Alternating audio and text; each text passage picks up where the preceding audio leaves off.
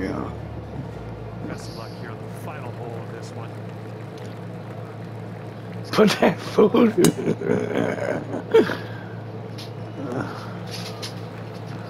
nice and done. This motherfucking slanty motherfucker, man.